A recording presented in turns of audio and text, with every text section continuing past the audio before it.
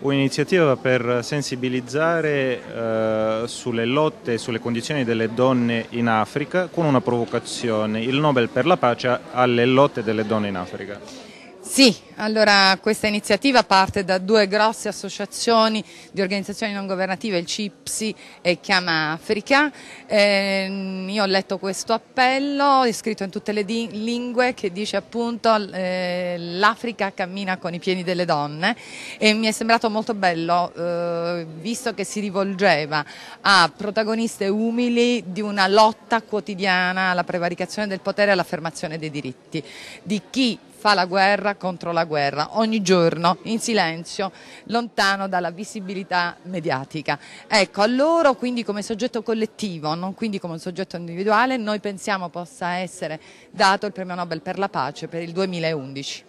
È per questo motivo che noi abbiamo voluto impegnarci e eh, dare praticamente un sostegno come politica, come istituzione parlamentare ed essere un'altra gamba che fa camminare appunto le donne e l'Africa. E io spero migliori la convivenza civile anche in tutto il mondo quello che abbiamo fatto, cercare di far aderire il più grosso numero di parlamentari perché questa sia una gamba che fa camminare il premio Nobel per la pace per le donne africane per il 2011 con un sostegno anche parlamentare e istituzionale.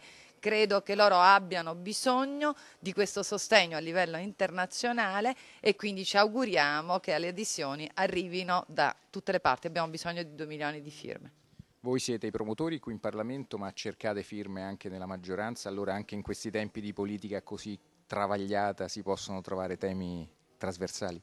Se le aule parlamentari sono appesantite e affaticate, questo è un tema che credo possa trovare condivisione laddove praticamente si sostiene chi umilmente, silenziosamente, quotidianamente lotta contro la prevaricazione del potere e per l'affermazione dei diritti e allora penso che su questo non ci possa essere divisione.